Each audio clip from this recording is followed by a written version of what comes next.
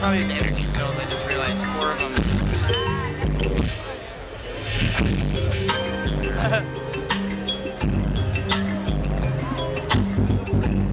Is this empty right now already.